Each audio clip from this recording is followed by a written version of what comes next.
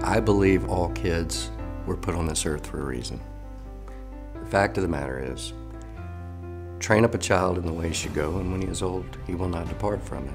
When a child comes with giftings, passions, talents, it's incumbent upon us to provide an opportunity, an avenue for that child to realize that potential.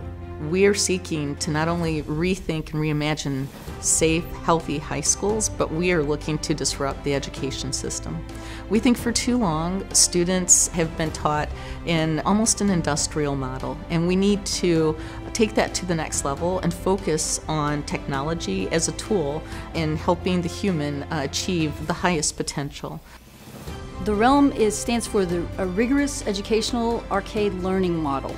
And if you'll note the word arcade is in the in the center, which means it is a gaming school, but please know the word rigorous. So we're looking at taking a school that is in a standardized classroom and yet being able to open it up it's easy to say we want our kids to be college and career ready, but what does that look like? Again, it's always historically been auto mechanics or cosmetology, and it's time to take that to a whole nother level. I think that there's there's something very artistic almost about taking a traditional form of of education and remodeling it into a new and innovative form. The furniture, it keeps the room very fluid and what we love about that is they can maintain their self-pacing and autonomy but then at the same time we can do small group workshops, pull-outs and such. The teachers, there's so many of them so they can actually focus on you. We are involving the kids in the development of that program.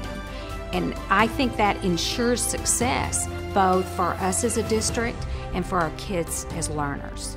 My job is to provide an environment that we call out the love of learning out of these children. It's there. It's incumbent upon us to pull it out of them, to show it to them, and to grow it.